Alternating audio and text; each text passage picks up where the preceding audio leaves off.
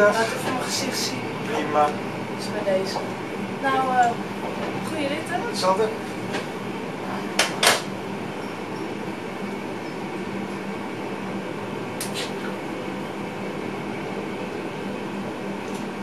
Dames en heren, goedemorgen. We rijden wat langzamer dan gebruikelijk. Op dit moment zitten wij achter de stoptrein in de richting van Wenen.